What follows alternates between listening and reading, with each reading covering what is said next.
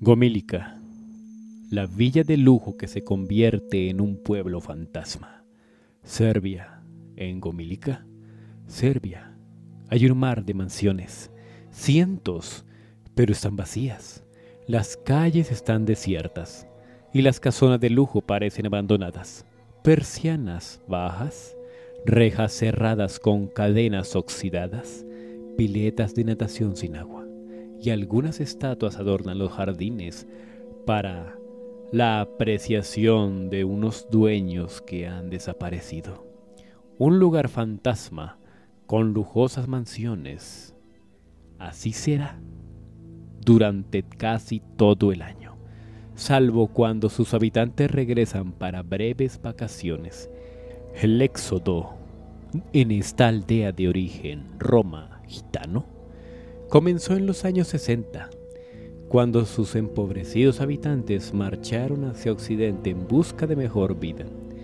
Comílica, la villa de lujo que se convierte en un pueblo fantasma.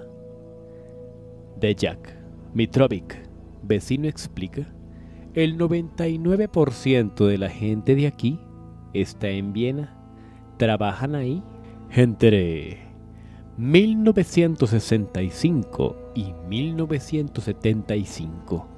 Todos se fueron a trabajar allá, partieron a hacer fortunas y lo lograron y construyeron sus casas en Serbia como trofeos de esa riqueza.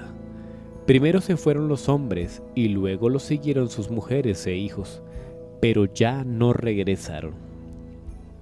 En Gomílica, todo es inusual el serbio Petar de George Bejatic, otro vecino relata que el problema más serio es que no tenemos ni un comercio, no tenemos calles, no tenemos calles asfaltadas y no hay agua potable.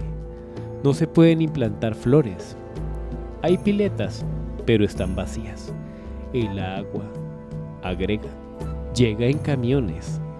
Un lugar fantasma con lujosas mansiones.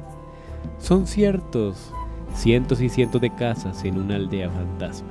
Sus dueños, como cuentan los vecinos, trabajan en el extranjero, amasan fortunas, pero apenas encuentran el tiempo para regresar.